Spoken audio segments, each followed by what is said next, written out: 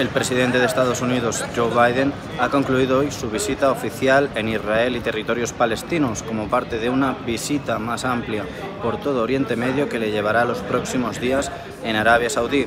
Como parte de su estancia de tres días, se reunió con las principales autoridades israelíes que le recibieron con todos los honores. Entre otras cuestiones, trataron una mayor inclusión de Israel en Oriente Medio, así como la articulación de un frente común ante el programa nuclear iraní.